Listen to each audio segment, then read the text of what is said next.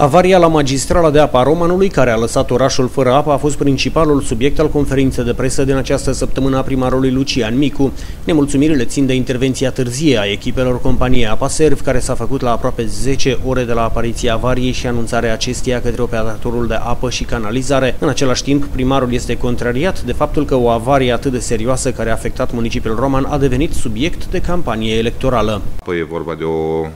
magistrală de alimentare a municipiului Roman cu dimensiunea de 400 de milimetri, o fisură pe o lungime de circa 3 metri apărută.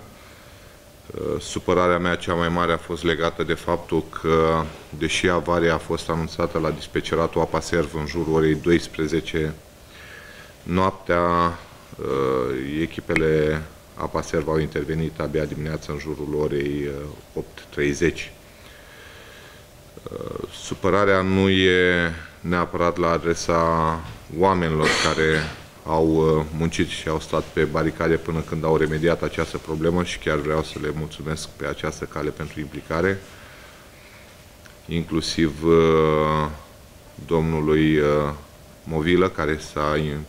implicat permanent în legătură telefonică cu reprezentantul Apaserv din Roman și a intervenit pentru a aduce cele două mufe de legătură, una de la Bistrița și una de la Brașov. Și e o problemă de sistem. E o problemă de sistem care, din păcate, nu a fost înțeleasă de unii oameni care au fost prin conducerea județului județean. Este vorba despre actualul senator Mormoloc, care, cât a condus uh, Consiliul Județean și a avut în subordine apa Servu, a realizat două lucruri mărețe pentru romașcani. Unul a mutat dispeceratul de la Roman la Piatra Neamț, practic a desfințat dispeceratul apa Serv de la Roman, un lucru extraordinar de util pentru romașcani. Și un al doilea lucru deosebit pentru Romașcan pe care le-a făcut a fost uh, scoaterea permanenței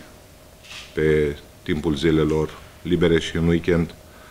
de la Apaserv. Aflat în ultima săptămână de campanie electorală, Lucian Micu acuză opoziția și mai ales conducerea Consiliului Județean în subordinea căruia se află compania Apaserv de dezinteres față de problemele romanului și ale romașcanilor. Lucrătorii de la Apaserv sunt în consemn doar uh, de la ora 7 dimineață până la ora 7 seara. Și de aceea și reacția mea că oameni care au trecut prin funcții de conducere, care puteau să lase ceva în urma lor, au lăsat, din păcate, un dezastru. Și m-au și curajul să comenteze, pe de o parte, din birouri sau cine știe de pe ce terasă, în vreme ce oamenii munceau acolo în zonă și mai mult decât atât să și dezinformeze și să mintă. Dar uh, e aproape ziua de 11 când romașcanii vor uh, decide care este adevărul și cine cât s-a implicat în rezolvarea problemelor din oraș, pentru că eu n-am văzut acolo pe nimeni care să vină din conducerea Consiliului Județean după cum bine știți, Consiliul Județean este cel care are în subordine compania județeană Apaser. În schimb, vreau să-i mulțumesc domnului subprefect Iulian Jugan, care a fost prezent pe tot parcursul zilei de sâmbătă alături de noi. În permanență am uh, colaborat atât pentru distribuirea de apă pentru romașcani prin cele trei auto speciale ale ISU, cât și pentru celălalt suport pe care ni l-a acordat și vreau de asemenea să mai mulțumesc și altor două persoane. Este vorba de George Biciușcă, care a fost și el prezent și ne-a oferit consiliere pe parcursul și sprijin, bineînțeles, cu tot ceea ce am avut nevoie acolo și de asemenea iarăși o persoană care mi-a devenit foarte dragă în urma acestui eveniment și în momentele grele cred eu că se pot naște prieteniși și se pot vedea caractere. Este vorba de Claudiu Moroșanu, un tânăr antreprenor din Roman, care în momentul în care l-am sunat uh, a reacționat foarte prompt și din momentul în care a venit la fața locului nu a mai plecat decât odată cu mine când